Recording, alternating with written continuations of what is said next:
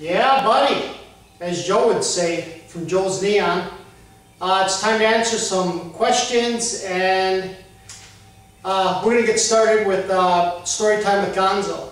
I'm going to do it on Thursdays instead of on Sundays like I said because Sundays I'm busy. Uh, if I'm off, I'm either playing softball or fishing or something and I might end up making a fishing video on weekends. So it's easier if I do this on Thursdays, which uh, I'll be doing from now on. So let's get started. I'm going to try and keep it under 15 minutes. Sit back, crack a beer, Boss Man, Coors Light. Uh, Joe, I know you want your PBR. And kids and everybody else, grab a pop, grab your choice of beverage. And uh, I hope you guys enjoy the video. Give me comments, give me ideas, and I'll let you know anything that you want about me, except my social security number my bank accounts. Uh, first question, real big dog. He wants to know, do I ever take my wife when I go fishing or trapping? Take her fishing all the time. Every chance that we get to go and my son doesn't go, uh, she's in the boat with me. She's on the dock, she's on shore. Uh, it doesn't matter. She, she loves to fish. She's learning and she's learning quick. Trapping, absolutely not. She hates to see animals uh, in trap, just like a lot of other people, you know. But uh, when I bring them home, she doesn't mind looking at them. She just doesn't want to see the carcass after their skin. So Hope that answers your question. Thank you.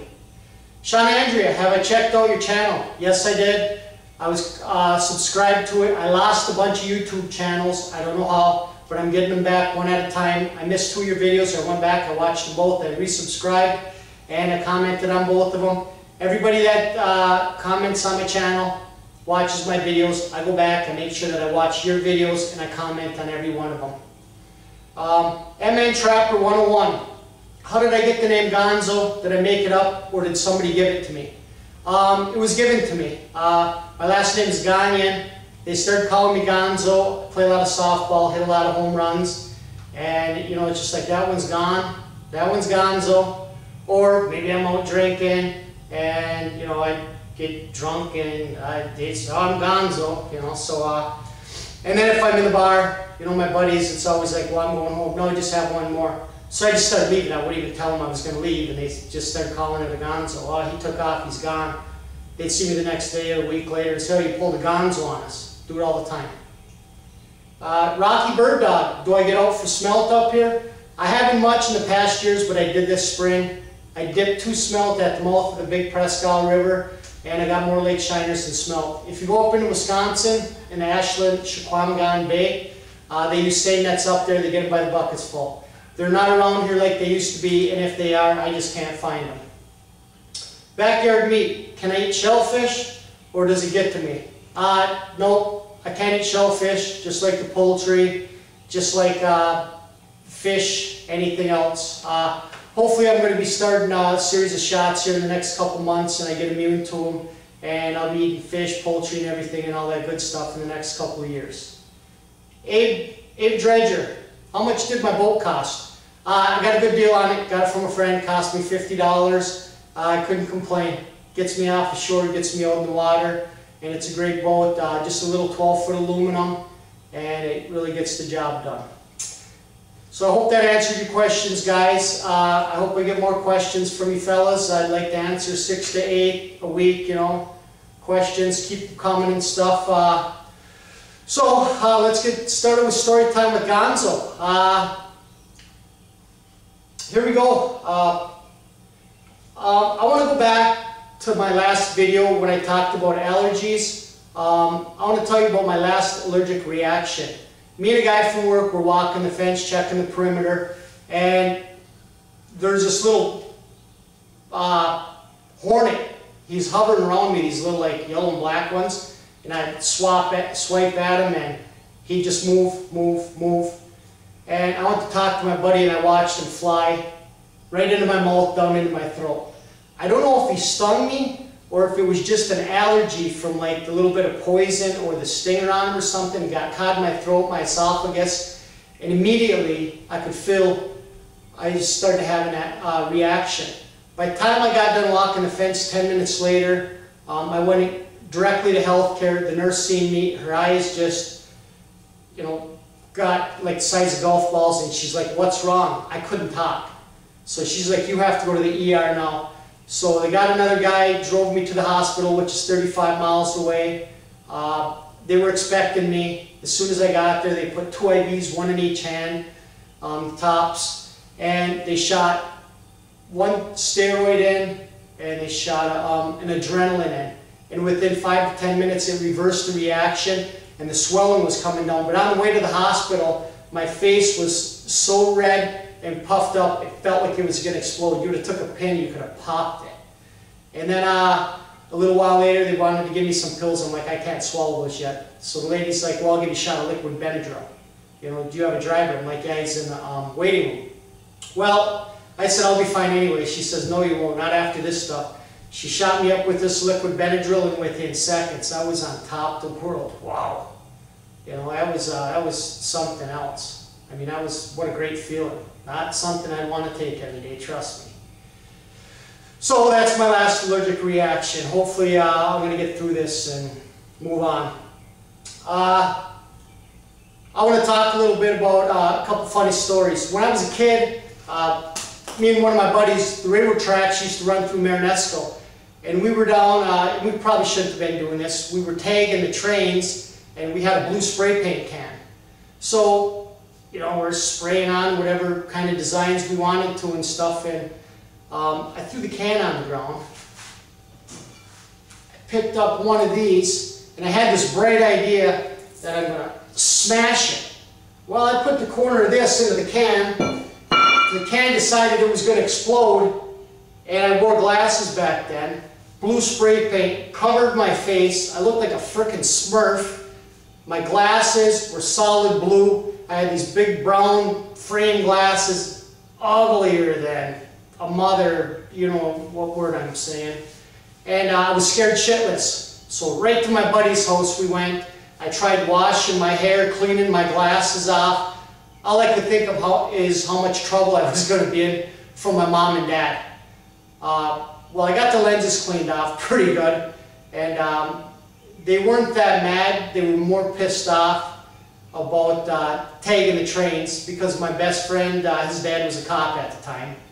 My hair was all blue, so I had to get a haircut, pretty much shaved right off.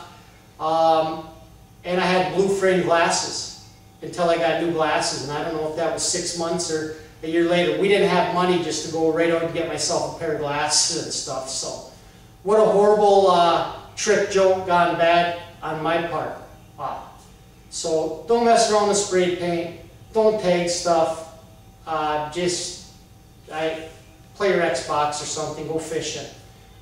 And uh, that's that. Um, I want to tell you about my first weasel catch.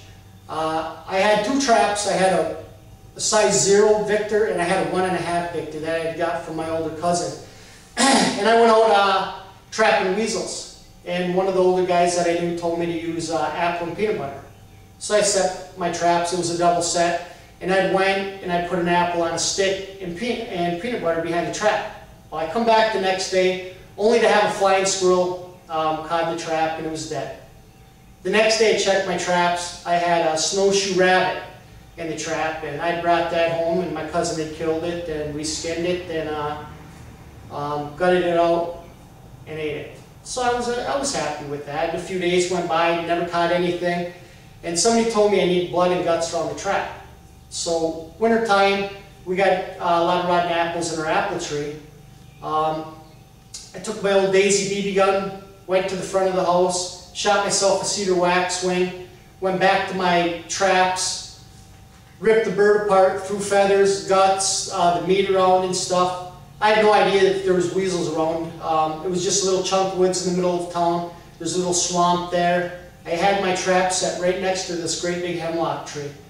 Uh, about the third day it was there, I'd caught one of the biggest weasels that I ever caught. It was dead when I got there. I had it in both traps. I had the little zero Victor, it was caught by the back leg, and the number one and a half, it was caught right by the head. So he was dead. Um, I was excited, I was pumped up. I couldn't wait to get him out of the trap and get him home and show my mom and dad, you know, my prized possession.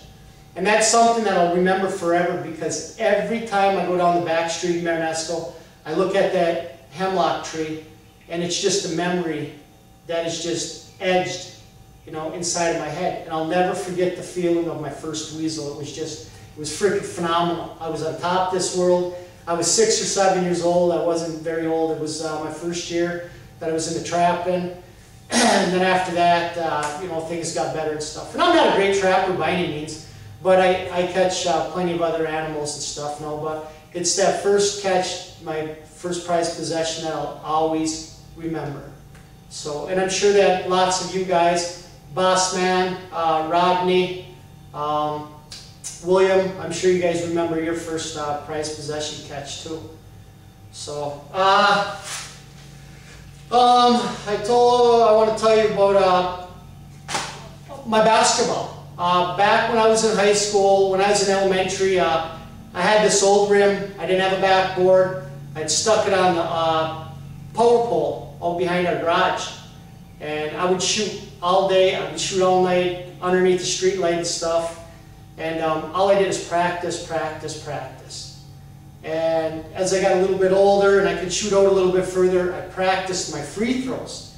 And uh, one day I wanted to be the um, state of Michigan free throw champion. And uh, that's what these trophies are behind me. I'll show you real quick. Uh, it was 1985. Um, I won, we shot 25 free throws. And the first time I shot, I ended up making 17 out of 25 to qualify. And the next time I shot, I went to Gaylord, Michigan. No, I went, it was, uh, yeah, it was, it was Gaylord, Michigan. And I made 23 out of 25. And for a tiebreaker, with everybody shooting down in Detroit, I'd shot 15 more free throws. And I made 14 out of 15. So qualifying, I made 16. Um, then I made 23 out of 25. Then I made 14 out of 25. I was supposed to go to New York to represent the state of Michigan, and the guy that was setting up everything through the Elks, Elks Hoop Shoot Contest out of Ironwood, Michigan, um, screwed me over. I called him every week, you know, did you hear anything yet? No. Did you hear anything yet? No. And uh, he had a son my age. My guess is, and everybody else's guess is, um, I didn't call him one week, and then I called him like two weeks later, and he says, oh, you should have called me last week. It was last week, it's too late, you can't go. Well, my guess is that he sent his son down there to represent the state of Michigan and not me. So let me give you a shot of these trophies real quick. And as I'm shooting this, I'm going to tell you another little story. Um, right there, uh, that medallion, right there, that was my qualifying. That one right there is, uh, that was like the regional champion. And then this one, if you look at it, you can see free throw state champion. And I never got to go to New York like I, like I said, like I wanted to. Well, I'm going to show you something else. I made the USA Today. If you look at the top left, you'll see where it says USA Today. And then if you look right down there, Heith Gagnon, Marenisco scored a school record 45 points. Milltowners, we won that game 105 to 80. And uh, that's a game I'll always remember. That was probably one of the best basketball games I'd ever played in my whole life. I, uh, I was 16 for 16 at the free throw line. I was 5 for 5 three-pointers, and I was 7 for 8 two-pointers. It was just a game that no matter where I threw the ball up at, it went in, I made it, and it was just, uh, it was an honor. I didn't know that I made the USA today my dad's neighbor uh, had come over one Sunday morning and he's like, hey, you made the USA Today. And I'm like, really? You know, about what? And he told me it was in there. And I'm like, no. He goes, yeah. He goes, I'll go home and get the paper and bring it down. And if it wasn't for uh, Timmy McLeod, and I thank you, Tim, if you ever watch these videos, um, he brought it to my attention and he cut the article out and gave it to me. I mean, that's just something I'll remember forever. You know, and I thought that was just such an honor to be in the USA Today because that's like worldwide you know, national news and stuff.